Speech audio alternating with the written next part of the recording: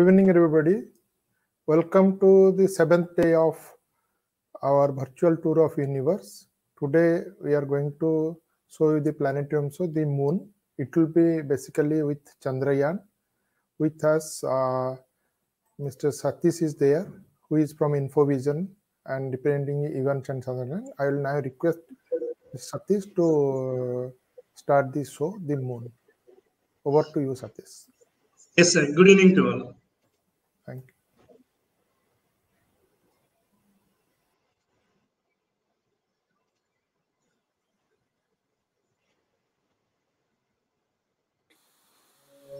Each one of us has looked up at a serene moonlit night sky and wondered about the moon. What is it? Why does it shine so brightly? How many mysteries does it hold? Our nearest celestial neighbor has fascinated us since the beginning of human history on Earth. Thousands of years later, we now have the means to touch the dream. Over the next half hour, you will learn a few facts and take a short voyage to the moon, the only natural satellite of Earth. My name is Manish, and I'll be your guide.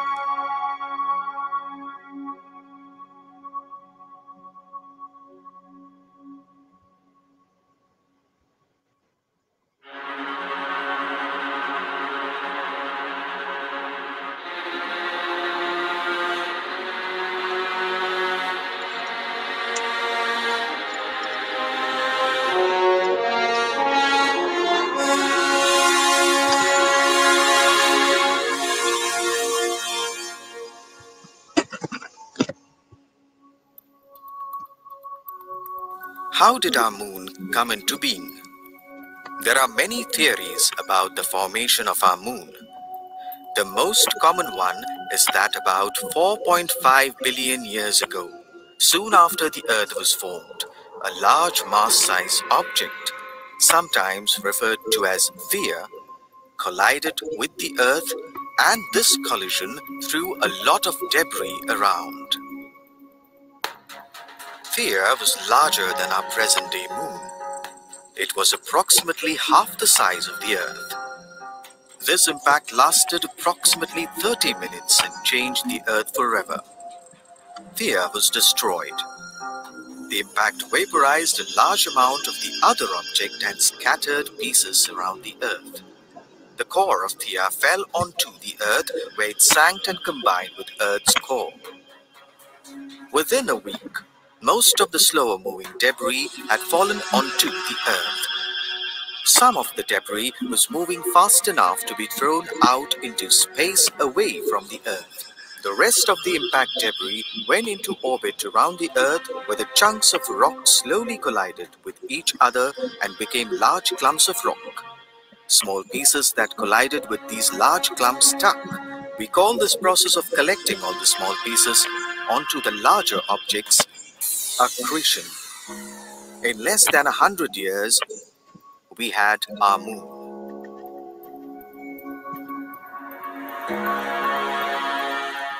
Currently, the moon is at a distance of 384,000 kilometers from us. But this distance varies due to the elliptical orbit.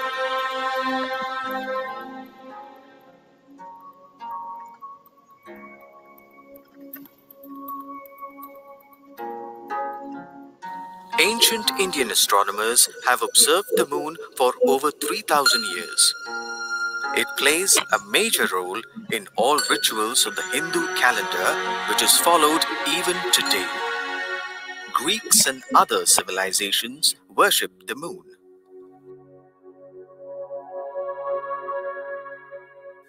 A large part of the fascination lies in the fact that part of the moon seems to be permanently hidden away from us.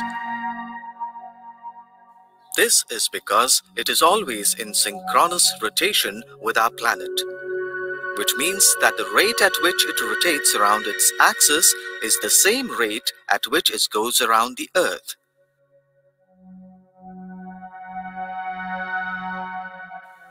This also means that we will always look at one side of the moon. The compelling mystery of the dark side of the moon has been associated with the occult for millennia. Apart from its enigmatic beauty, the moon permeates our daily lives on Earth in an important way.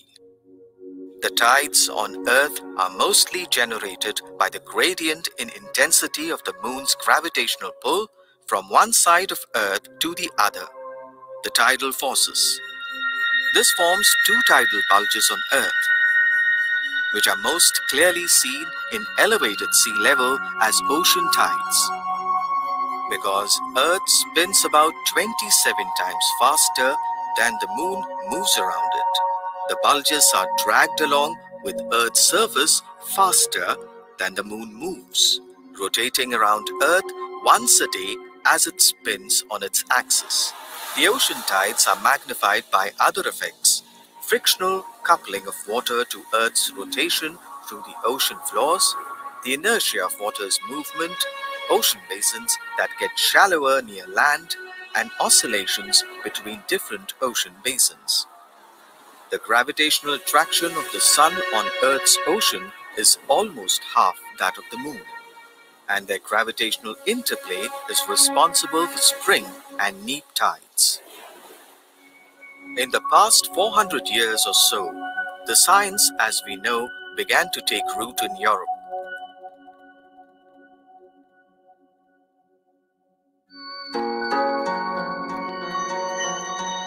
Italian astronomer Galileo Galilei used the newly discovered optical instrument, the telescope, to look at the moon.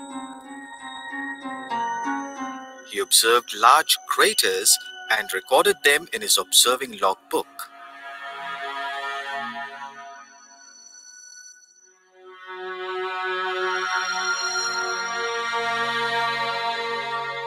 The moon was not as perfect as it seemed.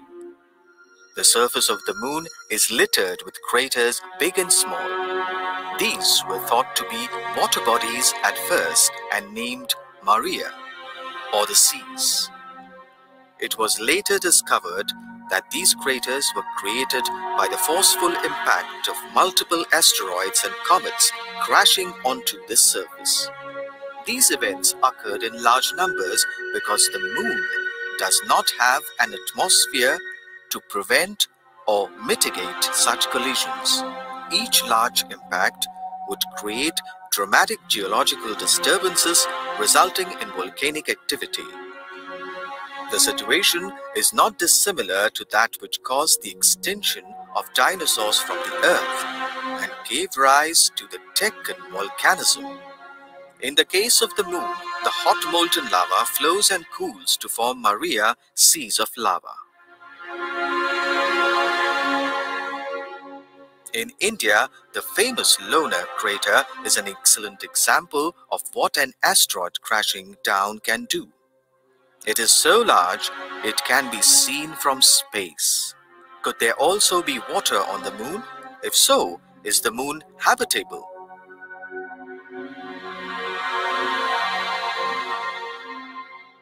Humans have always had an unquenchable thirst to conquer the moon in the hope that it could be colonized. With the advent of rocket technology in the 1950s and 60s, the United States and USSR locked themselves into a space race, a race that would culminate at the moon.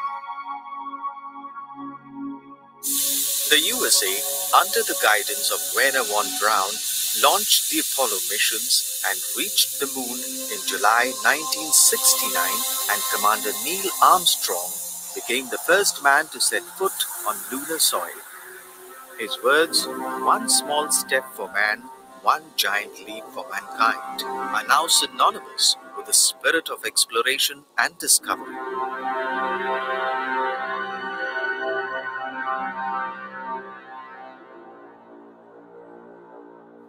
India also has its own moon exploration program.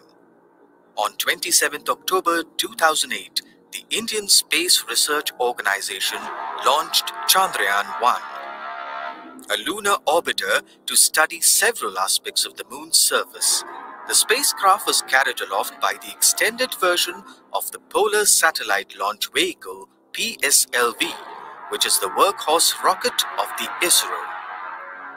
It became the first spacecraft to confirm the presence of water on the moon. Most interestingly, heavier elements such as sulfur were also observed. The spacecraft also carried with it a small impact probe that sent back several beautiful pictures of the lunar surface before crashing on the moon.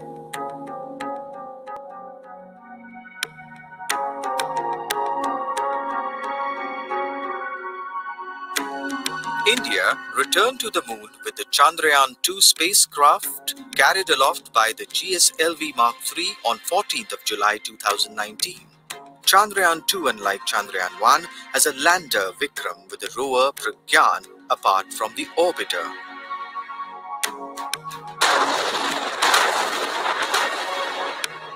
And we have liftoff. As the rocket soars higher and higher, the first two stages separate at different intervals.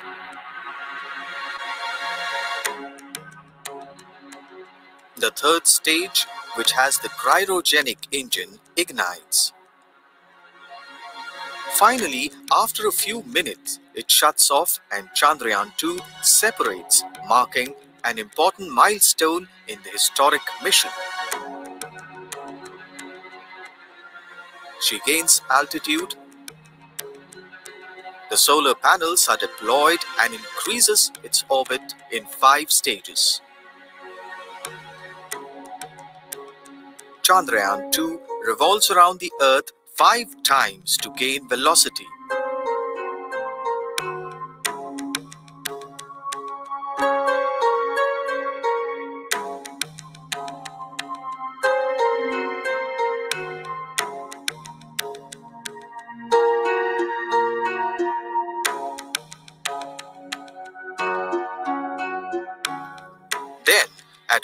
Point, at the end of the fifth orbit, which is after a week, Chandrayaan 2 joins the highway to the moon, or what is known as the lunar transfer trajectory. After a few days, it executes the crucial entry into the lunar orbit, which is known as the lunar orbit insertion. Meanwhile, the orbiter will go around the moon in a 100 by 100 kilometer orbit and keep a constant eye on the moon and the lander.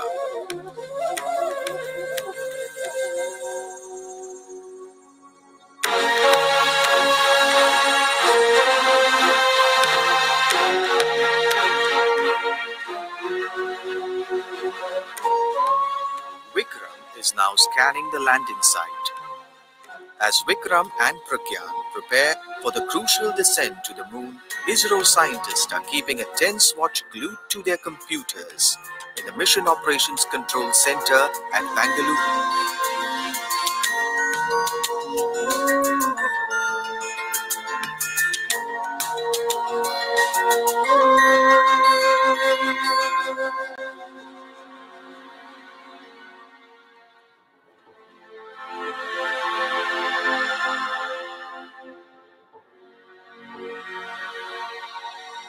Post separation from the orbiter, Vikram with Pragyan executes some complex maneuvers before starting the nail biting descent called 15 Minutes of Terror.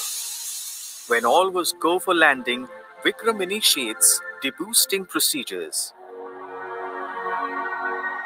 It is the first moon mission in the world to touch down on the South Pole region of the moon with a rover. Hold your breath and keep your fingers crossed. But then what happened? If all had gone well, Vikram would have pulled off a soft landing on the moon around 2 am on September 7 with Pragyan. It had started scanning the touchdown zone. The primary touchdown zone was between two craters, Manzinus and Simpelius located 350 kilometers north of South Aitken Basin Rim.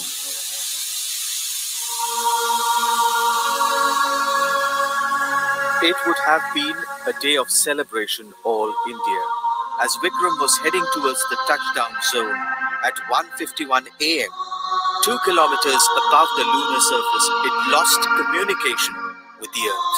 A mood of disappointment descended in the control room with the ISRO team trying to figure out what happened. Later, Vikram lander and debris were spotted in images taken on November 11 by NASA. What would Vikram have done if it had soft landed successfully? It would have started clicking images and say hi to the orbiter and ground stations.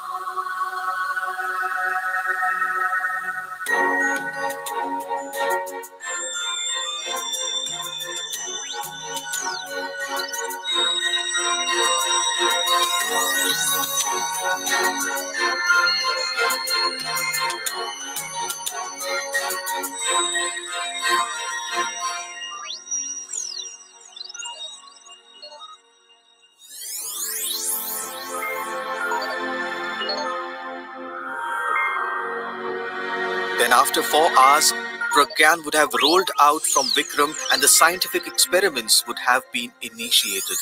There are 14 instruments, out of which are 13 India made and one from NASA. 8 from orbiter, 3 from lander, and 2 of the rover. The mission span of Vikram and Pragyan is one lunar day, which is equivalent to 14 Earth days. The life of orbiter, which was initially just a year, has been stretched to seven years because of the precise launch and perfect mission management. Pragyan, equipped with solar power, would have moved up to 500 meters. The main aim of the mission was to hunt for water.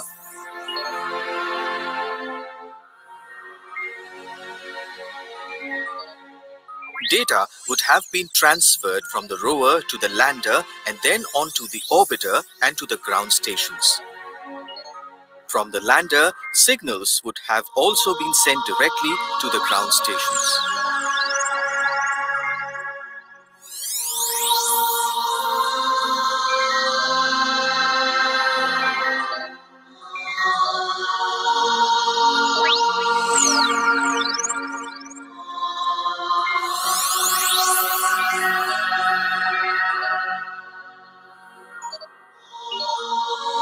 The other scientific goal is to provide a deeper insight into the beginning of the solar system. Scientists will be able to have a better understanding of the moon's composition.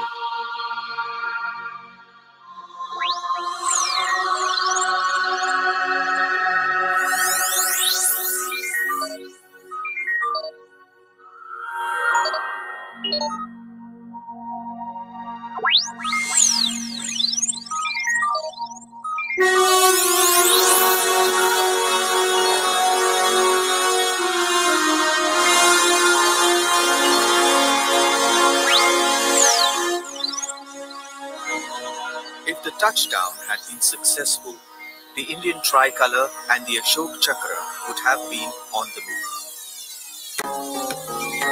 moon.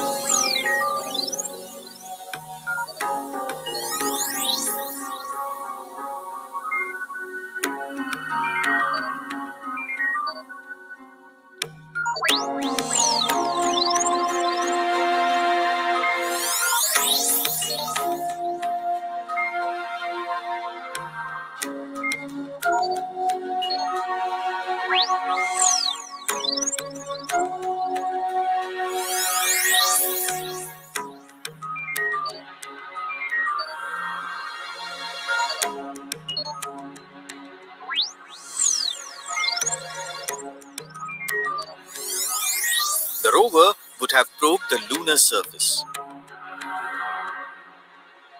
Both the lander and rover would have also focused on the moon's mineralogical, topographical, and various other facets of the moon.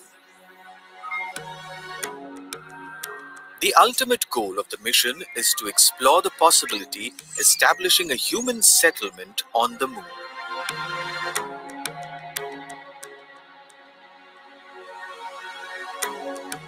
If the mission had been pulled off, India would have joined the select three member countries the US, Russia, and China of soft landing on the moon. India would have become the fourth country. The mission will benefit not only those in India but people all over the world. This mission has triggered enthusiasm among the younger generation to study science, technology, engineering and mathematics. It's a giant leap for India, even though it missed history by 0.0006%. But it is not a complete failure because the orbiter is performing very well. It has taken high resolution images and made a number of scientific breakthroughs like measuring solar flares and observing charged particles.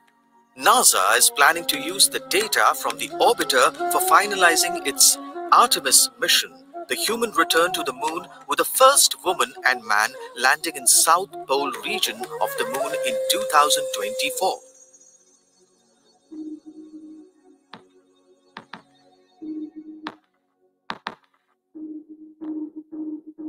It is possible to envisage a human colony living on the moon by the end of this century. And then what? In case humans were to successfully colonize the moon, what would be the effect on our species?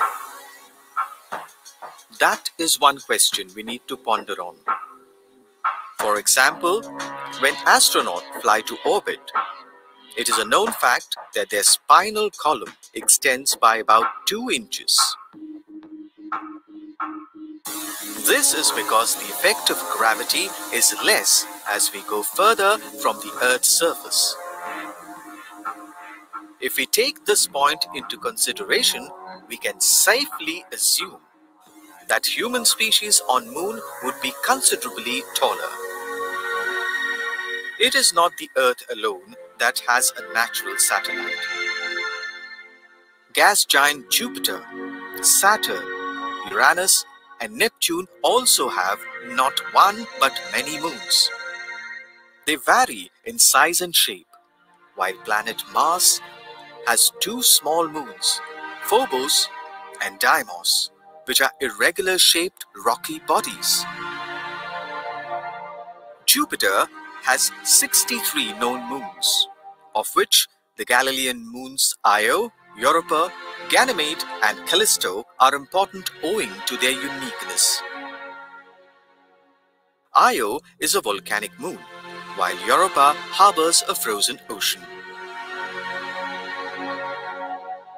Ganymede is the largest moon in the solar system.